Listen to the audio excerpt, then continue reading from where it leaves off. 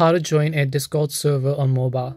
Hi everyone, welcome back to our channel Help Deck. In today's video, I'll show you how you can join a Discord server on your mobile, so just make sure to watch the video till the end. In order to join a Discord server on mobile, first of all, just go ahead and launch the Discord application. Now keep in mind that the number of servers that you can join which means the type of service you can join from mobile app is actually limited. From mobile application you cannot join public service. If you want to join public service that doesn't require you an invitation link you have to do so from your PC's browser.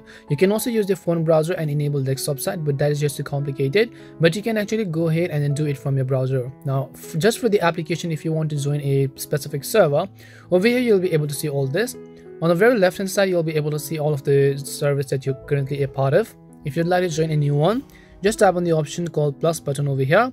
And then over here, you can create your own server. But at the very bottom, you'll find the option called have an invite already, join a server.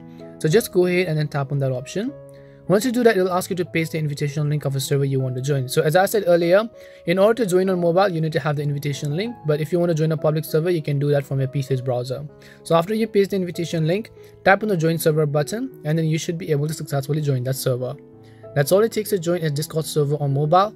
We hope the video was really helpful, and if it did help you, then make sure to leave a like and subscribe to our channel. If you have got any more questions, feel free to leave them down. Thank you very much for watching till the end and see you in the next video.